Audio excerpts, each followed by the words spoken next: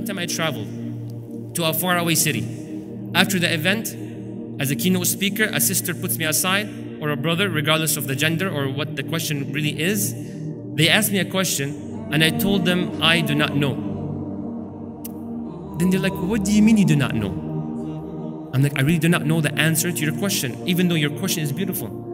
Then they told me, We brought you all the way from the, this place to travel all the way here so you can tell me you do not know? Like, are you serious? I'm like, you know, I could have given you an answer, but it might have been wrong. So I destroy your life and I destroy my afterlife. What's the point of that?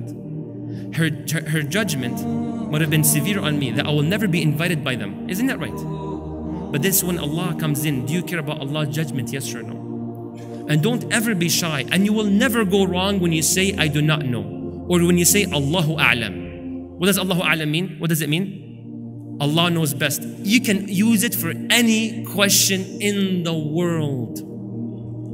Any question. Ask, brother, are you a Muslim? Allahu A'lam. Isn't it? Allah knows best.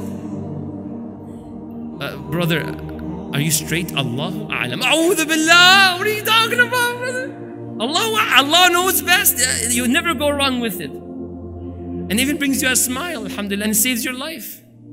Allahu A'lam. By the way, the answer is yes for both. Okay? Just joking. Allahu A'lam. But the point being is something to truly appreciate. Rasulullah sallallahu alayhi wa sallam, wallahi, this hadith is remarkable. This hadith humbles every creature who says, who says La ilaha illallah Muhammad Rasulullah. May Allah make you die upon it. La ilaha illallah Muhammad Rasulullah. A man asked the Prophet in authentic narration, What are the most disliked locations in the sight of Allah? Is it clear? What is the most disliked location in the sight of Allah? When the Prophet was asked this question, what did the Prophet say? La adri. I do not know. If the Prophet was able to say La adri, then what about us? Did he care about people judging him? Well, you're not worthy of being a prophet. La, move on. So he said, Let me go ask Jibril. So he goes, asks Jibril. Jibril, ما أشر الأسواق أو البلدان إلى الله. What is the most disliked location in the sight of Allah? You know what Jibril alayhi salam obviously will give the answer, right? He is the angel that was assigned to every prophet. But Jibril said, لا أدري, I do not know. حتى أسأل ربي until I go ask Allah. So Jibril goes, asks Allah and gets the response for Allah is Al-Alim, the all-knowing.